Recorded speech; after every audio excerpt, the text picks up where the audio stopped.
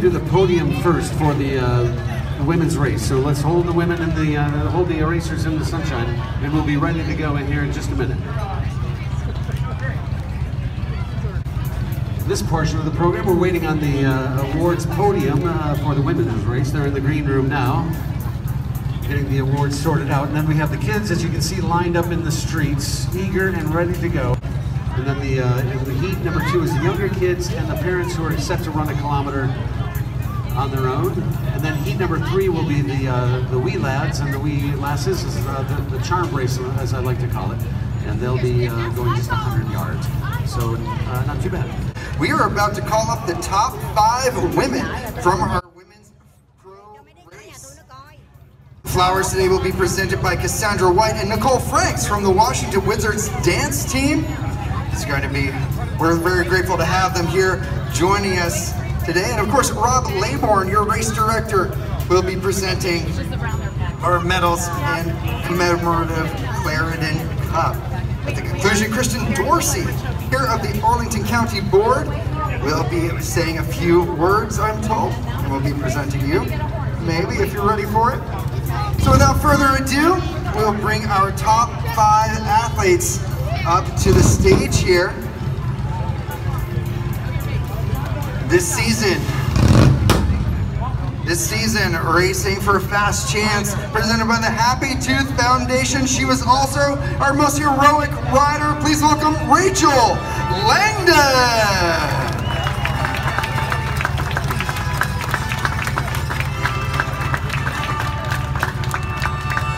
Racing today for the Capital Wealth Advisors, in fourth place, Emily Elric.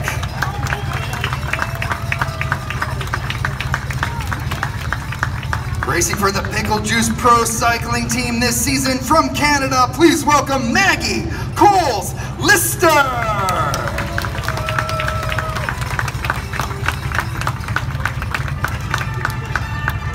Racing for Hagas Vermin Super Mint.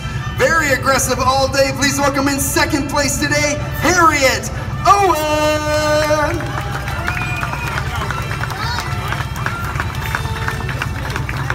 Winner yesterday in Crystal City, now the first time winner of both events of our Armed Forces Cycling Classic, racing for Tibco, presented by Silicon Valley Bank,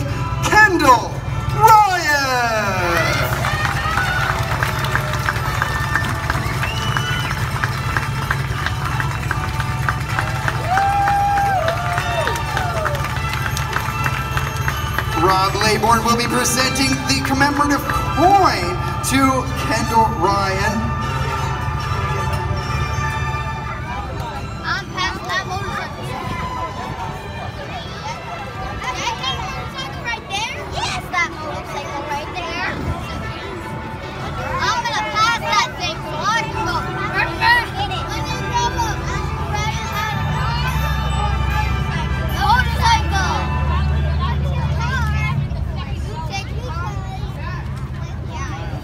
Kids, are you ready? Yeah! I said, are you ready? Yeah! Then let's do it. You guys waited patiently. Thank you for that. There'll be free ice cream somewhere. Your mom, dad, ice cream for these kids, all of them. Um, send, send, yeah, send him the bill. Gabe, you got the bill. Uh, I guess if you're ready, the course is ready. The kids are definitely ready. The parents, I guess, I know are ready. Let's do it. Let's count it down, just like we did yesterday. 199. That's too much. Three, two, one. Somebody blow the horn, and we're on our way. Okay, I'll do it.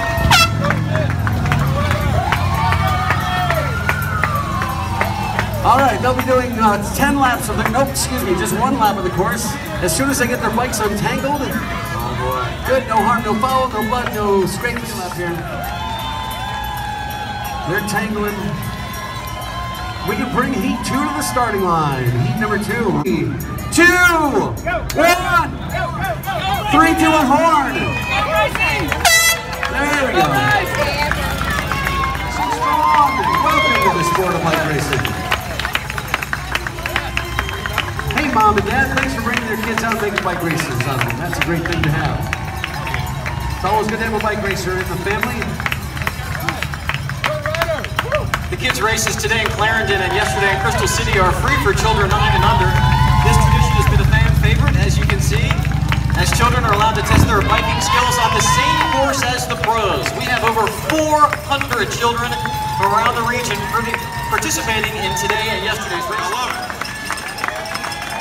And you being an economic uh, development expert, you know, someone coming from economic policy, you've got to love to see uh, what is. One of the things that our job is is to make sure it all works for everyone. Heat number three is coming out into the street now. Category awards. Mom's in fifth place. Pedal, pedal, pedal. Straight ahead, all the way to the line. Honk that horn for us. Dad's gonna be sore tomorrow. Well done. Uh, stop them before they get on the expressway. Oh, please, yeah. We stop them now. Come back. No, no, we're not doing a full lap. Oh, they're going to the medals. Okay, good. Whew.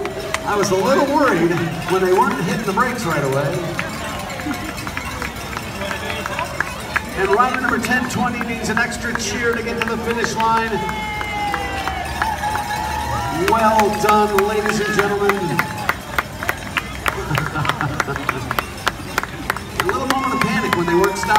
Didn't see the medals down there waiting for them, but now that I see them. Are you guys ready? Folks of Clarendon, are you ready for a bike race? I mean really ready. Help me count it down.